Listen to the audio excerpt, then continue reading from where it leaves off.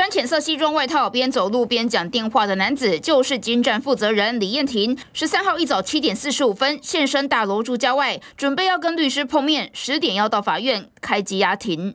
那个不好意思，十点钟一到，守候的媒体扑了空，因为李燕婷跟律师从另一边的门进入法院，而这场羁押庭是检方八号拘提李燕婷，依违反食安法声押。法院当天裁定他以八十万元交保，检方不服抗告，高雄高分院发回跟裁。至于前一晚九点多，李燕婷才从法院离开。警察没有拘票，只用照片给他看。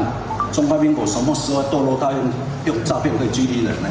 被当庭释放的金站负责人李燕婷，在律师的陪同下还原逮捕过程，对远警逮捕程序提出质疑，也否认关机搞失踪。手机有关机过吗？没有，可以看通联记录。李燕婷澄清，十二号一早七点多就跟卫生局通话，一小时四通之后，家人身体不适，电话有漏接，协助家人就医之后，马上就回拨给卫生局，接着就在前妻的住处外车停路边遭远警带回。八点三十三到八点五十几，通电话大概四通电话。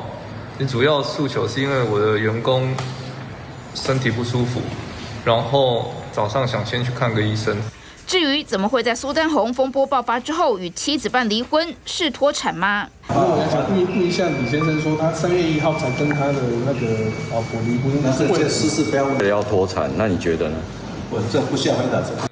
现在被指控是苏丹红幕后黑手，李燕婷也发签字文声明，集团确实是家族企业，大家所谓的十家公司，一般企业经营有关系企业是常态，也提出产地出货为有色塑料袋，质疑不能排除有非人为的二次污染之可能性，最后深深的向大众致歉。而声押庭最后的结果是李燕婷羁押警见。